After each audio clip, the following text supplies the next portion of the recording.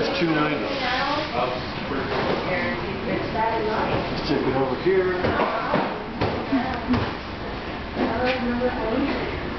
Pour it out on the oiled marble. This will help to suck up some of that heat. Be very, very careful. Remember, this is 290 degrees. It can burn you really badly. So you want to make sure that you're really protecting yourself and making sure that you don't end up uh, getting a burn. It's not just going to cause a first degree burn. It's most likely going to cause a second or, or third degree burn. You're really bad and very careful. Letting that sugar kind of just sit there on the marble, letting that heat get absorbed by the marble, we're going to go ahead and then start to uh, move it around a bit. We're going to kind of scrape it up from the marble and get um, get it cooled off and ready for pulling. Ow. There's a table here. Did you know that? Down with my knee. So this is similar to tabling chocolate with the scrape and cooling? In some ways, yeah, it's this is going to be um, to kind of keep it together. Uh, it's not really about developing crystallization. though. in this case, it's more about uh, cooling it down. You can see the bubbles starting to form in it, and the bubbles are going to get smaller and smaller and smaller. When they put their color and their flavor. Yeah, I often do it while it's cooking at 266 degrees, but that's um, either way, whether you do it now or whether you do it later. I just, that's what I've seen them do with the veg. You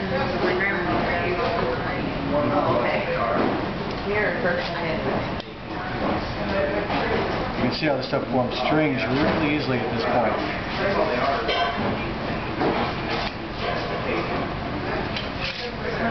This also helps me gauge when I can start picking it up with my hands. Now you may think, your hands, why in the world would you want to do that? Well, eventually you have to touch it. And it's hot, don't get me wrong. It'll be about 150, 160 degrees. So it'll be about like the mozzarella we had to play with. Yeah, pretty uncomfortably hot. But um, that said, it will be manageable. And you have I have double gloves on. Yeah, it's not too bad at this point. Isn't a sugar burn the worst kind of burn you could get in the kitchen? Yeah, um, mainly because sugar sticks to you. So um, Takes the skin off with yeah, you won't ever get it off. I have a pretty bad scar right here on the top of one of my fingers where uh, it stuck to me and I couldn't get it off. Well, I pulled it off and I've got a pretty deep scar because of that. So it's not just better to let it sit. Yeah, just let it sit. Peanut he's like, it's the worst thing you can do, is leave it on your mouth. All right, I'm going to stop working with the tools because these are just getting to be messy now. I'll throw that in some water here.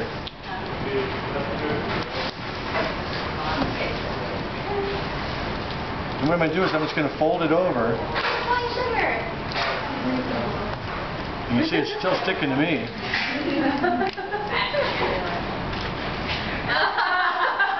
You should spray your gloves. Yeah, I should have sprayed my gloves. Is it too late? No, I've got I've got two pairs of gloves on. So what I'll do is I'm going to get rid of this pair.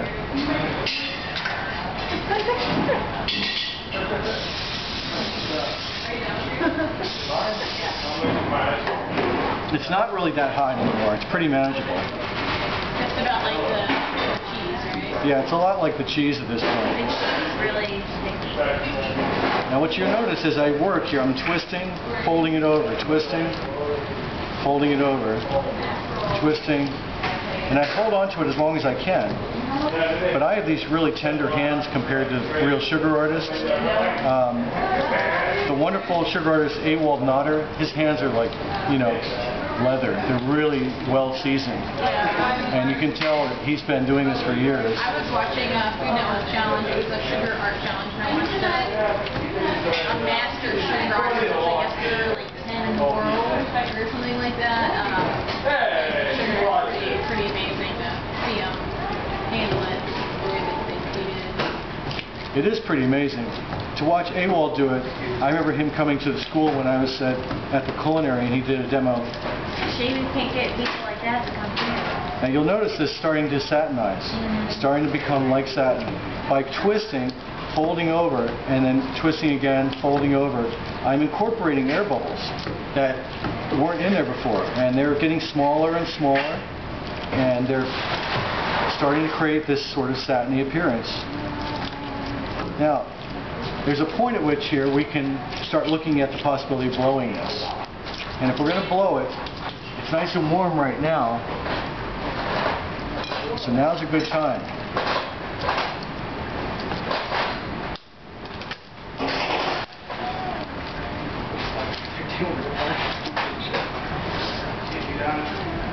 What I've done here is I've embedded um, this copper tube inside the sugar.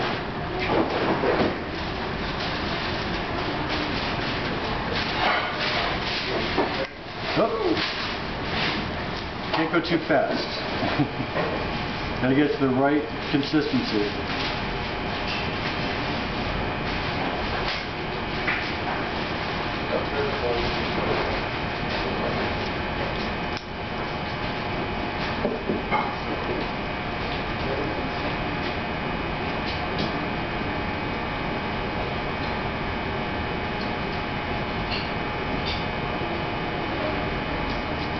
What you'll notice is I put it on my hand here to cool it down. So other parts will start to uh, blow and get thinner instead of just that one area.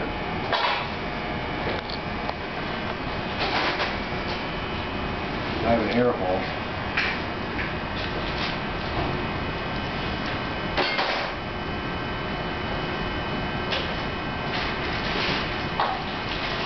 Have another hole. See if I can keep the holes from forming.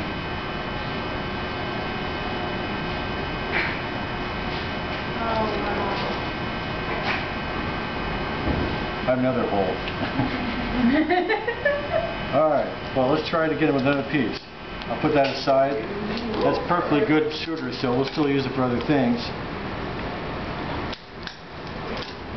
But I'll keep that copper tube kind of open. If it ever gets to a point where it's um, too encrusted, I'll take a torch and get rid of some of that excess sugar.